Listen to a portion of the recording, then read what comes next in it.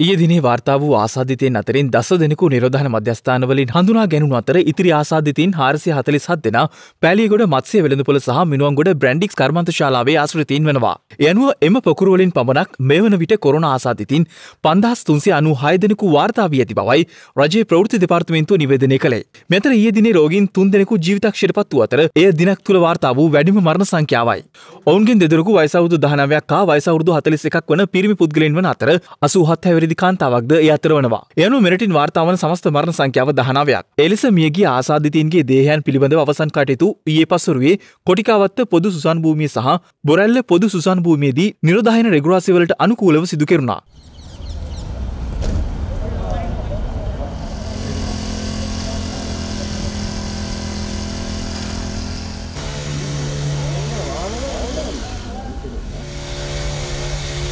දවසකට මරණ තුනක් කවදාවත් අපේ වෙලා තිබුණේ නැහැ පහුගිය අවස්ථාවවලදී මේක යම් බැරෑරුම් තත්ත්වයක් විදිහට අපි හැමෝම විග්‍රහ කළ යුතුයි. ඒ වගේම යම් අවදානම් අඩියකට අපි හැමෝම මුදීලා ඉන්නවයි කියන එක අපි තේරුම් අරගෙන කටයුතු කළ යුතුයි. විශේෂයෙන්ම අවදානම් කණ්ඩායම රැක බලා ගන්න ඉදිරියේදී අපි හරි ක්‍රියාමාර්ග වලට ගියේ නැත්නම් අපි පෙරේද දවසෙත් කියු විදිහට මරණ සංඛ්‍යාව අසාමාන්‍ය ලෙස ඉදිරි මාස දෙක ඇතුළත වැඩි වෙන්න ලොකු ඉඩකඩක් තියෙනවා. ඒ தත්ත්වය දැනටත් අපිට වළක්වා ගත හැකි මට්ටමේ තමයි තියෙන්නේ. ඒ නිසා විශේෂයෙන්ම රජයේ වෛන්දාරික සංගමයේ විදිහට සෞඛ්‍ය බලධාරීන් ඉල්ලනවා. මේ ප්‍රදේශයේ තියෙන අවදානම් සම්බන්ධයෙන් නියම අවදානම ජනතාවට ලබා දෙන්න. එතකොට තමයි ජනතාව වගකීම් සහගතව හැසිරෙන යම් පෙළඹීමක් ඇති වෙන්නේ. ඒ නිසා අපි මේ තොරතුරු හරියට කළමනාකරණය කළා අවදානම sannivedanaya කිරීම මේ මොහොතේදී අත්‍යවශ්‍යයෙන් සිදුවිය යුතු දෙයක්. ඒක වගකීම් යුතු පාර්ශව විසින් සෞඛ්‍ය බලධාරීන් විසින් සිදු කළ යුතු දෙයක් විදිහට අපි විශ්වාස කරනවා. එනුව පසුගිය දින පහේදී පමණක් කොවිඩ් මරණ හයක් වාර්තා වී ඇති බවයි රජයේ ප්‍රවෘත්ති දෙපාර්තමේන්තුව සඳහන් කළේ.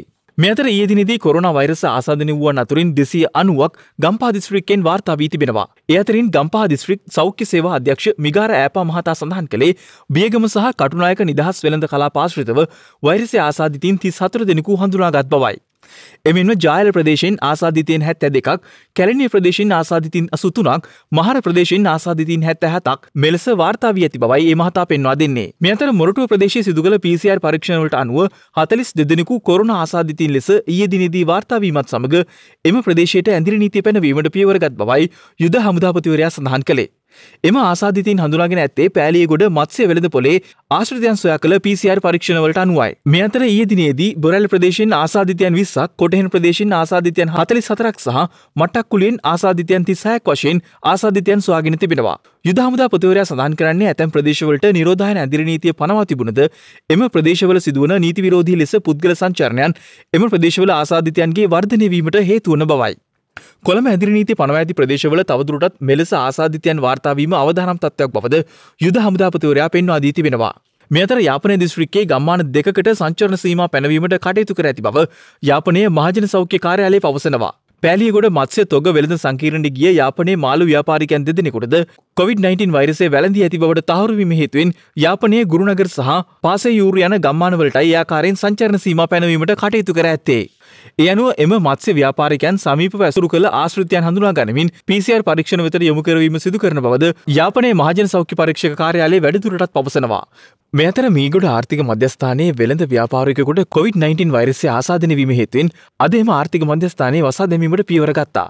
මේ හේතුවෙන් කිසිම විටකත් එළවලු හිඟයක් ඇති නොවන ආකාරයෙන් කටයුතු කිරීමට මේ වන විටත් ක්‍රියාමාර්ග ගෙන තිබෙන බවයි කෘෂිකර්ම රාජ්‍ය අමාත්‍යාංශයේ ලේකම් එල්.එල්. අනිල් විජේසිරි මහතා සඳහන් කළේ.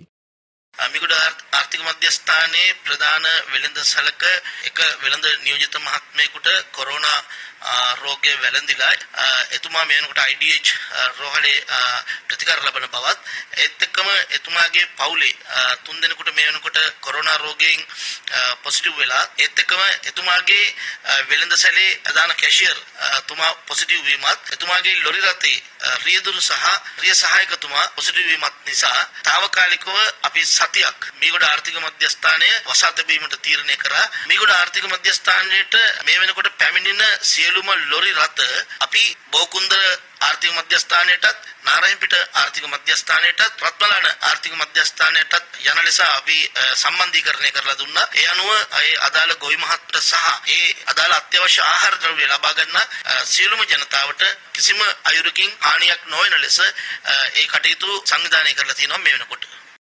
මේ අතර බස්රත තුළ එම බස්රතයේ ලියාපදිංචි අංකය පැහැදිලිව ප්‍රදර්ශනය කිරීමට කටයුතු කරන ලෙස පොලිස් මාධ්‍ය ප්‍රකාශක නියෝජ පොලිස්පති අජිත් රෝහණ මහතා සියලු බස්හිමියන්ගෙන් ඉල්ලා සිටිනවා.